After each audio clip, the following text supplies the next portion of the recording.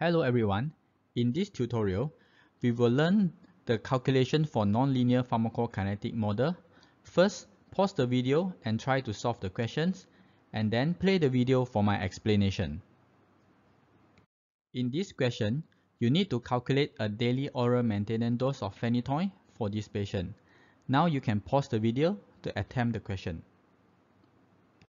To calculate the dosing rate, you need to remember this equation. In this case, the Vmax is given by per kg. You have to take into consideration the body weight of the patient. To put in all the value, dosing rate is equal to 7.2 multiply the body weight of the patient multiply by your target 10 divide 4.4 which is the km plus 10 solve this equation your answer will be 375 mg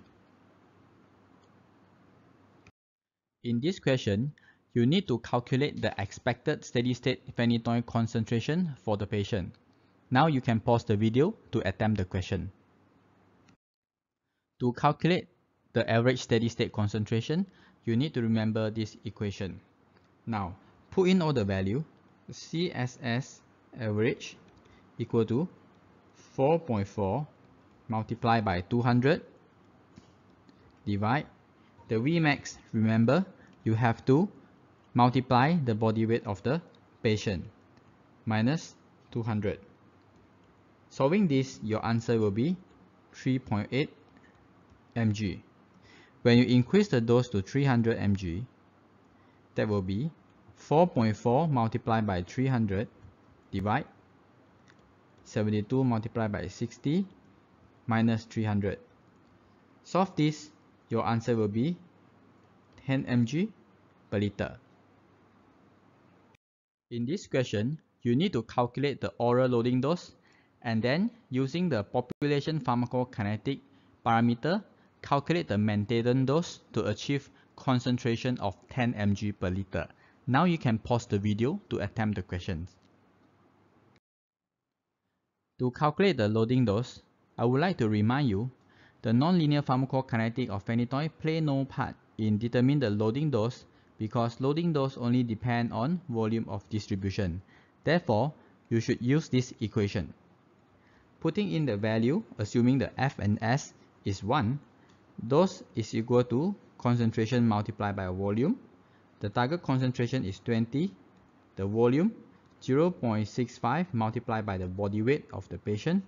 The loading dose should be 845 mg. Next part of the question, you need to calculate the dosing rate. Again, you need to remember this equation. For the Vmax, 7.2 multiplied by the body weight multiply by 10 the target concentration km is 4.4 plus the target 10 solve this equation your drug the dosing dose will be 325 mg in this question you will learn to use the orbital plot to estimate the patient's Vmax and Km. Now you can pause the video to attempt the questions.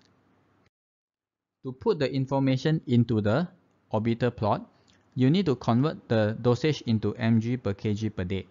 The patient is taking 300 mg divided by the body weight, that will be approximately 4.2. This is the measured concentration, 5, and this is 4.2. Using these two points, draw a straight line. The next step is to identify the midpoint in the inner circle. Your target concentration is 10. Connect this point 10 to the middle point to draw another straight line. The intercept on the y-axis will be the new dosing rate. That will be around 5.5.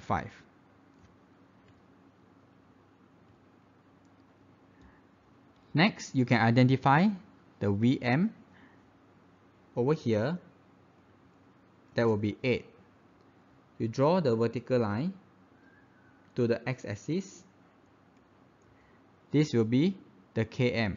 The km will be 4. and the Vm will be 8. To calculate the new dose, there will be 5.5 multiplied by 72. That will be approximately 396 mg. So the closest round up value will be 400 mg. In this question, we will look at the calculation for patients with low albumin level. Now you can pause the video to attempt the questions. Before we do the calculation, I would like to do a bit of revision with you. The equation we use in this case is slightly different because we need to take into account the albumin level. For phenytoin, it is highly bound to albumin. When we look at the therapeutic range, we are actually measuring both the free phenytoin and the albumin-bound phenytoin. There will be 90% sticking to the albumin, whereas only one, only 10% is free. So patients with low albumin, they tend to have a higher fraction of free phenytoin. Therefore, the therapeutic range is slightly lower. First, let us calculate the therapeutic range for this patient. Putting the value into the equation, 10 C divided by 0.9 multiply 2.5 divided by 4.4 plus 0.1. The answer in this case will be 6.1 mg per liter. Putting the value into 20, doing the calculation, your answer will be 12.2. So the therapeutic range in this patient will be 6.1 to 12.2 mg per liter. To calculate the maintenance dose to achieve a new concentration of 10, we can use this Graves-Cloyd equation. Putting in the value, maintenance dose, the old dose 300, the old concentration 7, multiplied by the new target 10, power 0.199, multiplied by the old concentration 7, power 0.804. Solving this equation, your answer will be 223 mg. So you can round up to the nearest to 320 or 330 mg. That's all for our tutorial. Thank you very much for your attention.